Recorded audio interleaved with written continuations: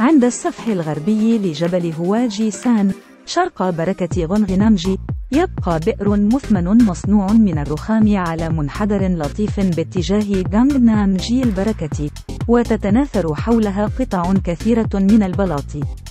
ويفترض أن هذا المكان هو موقع قصر ثانوي قيل له تقع جنوب قصر سابي جيونج.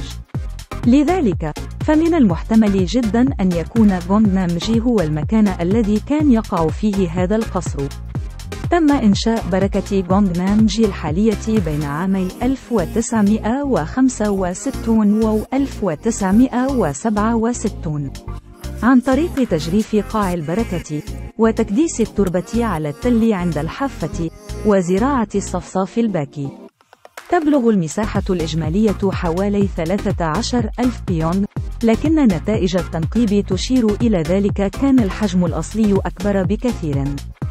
أجريت التنقيبات في الفترة من 1990 إلى 1993 و 1995 ومرافق تجميع المياه والممرات المائية ومواقع البناء المصنوعة من الأشجار والطين تم فحص طبقات التربة اللزجة الباردة في منطقة جونغنامجي وما حولها. يبلغ طول منشأة تجميع المياه 11.65 مترا من الشرق إلى الغرب وعرضها 3.13 مترا من الشمال إلى الجنوب. ويبدو وكأنه جدار مصنوع من جذوع الأشجار المزدوجة على طول الحافة. من الجهة الشرقية الخارجية بالقرب من منشأة تجميع المياه وتم تحديد قناة مائية في اتجاه الجنوب إلى الشمال وتم جلب المياه إلى منشأة تجميع المياه من خلال ذلك. الجزء الغربي من منشأة تجميع المياه عبارة عن مساحة 6.3 متر مربع يمكنها تخزين المياه، والجزء الشرقي به أخدود ضحل على شكل اتحاد للسماح بتدفق المياه إلى الداخل. من الممر المائي ليتدفق بعيدا الممر المائي هو ممر مائي طبيعي بدون تركيب أي أجسام صناعية وممر مائي صناع تصطف على جانبه شجرة وتصطف شجرة.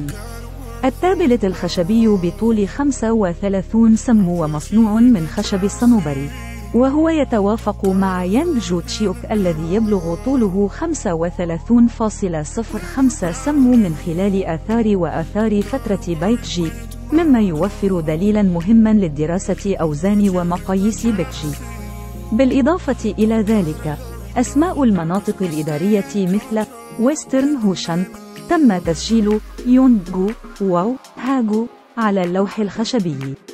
لذلك تم تأكيد هوهانغي الذي تم تأكيده فقط في الأدبيات. ويتم تقييمها أيضا كبيانات قيمة للبحث في نظام بيكجي الإداري والذي يتكون من خمسة أجزاء وخمسة أقسام. بالإضافة إلى ذلك هناك العديد من المجارف الخشبية والمجارف وأنوال خشبية داخل الممر المائي.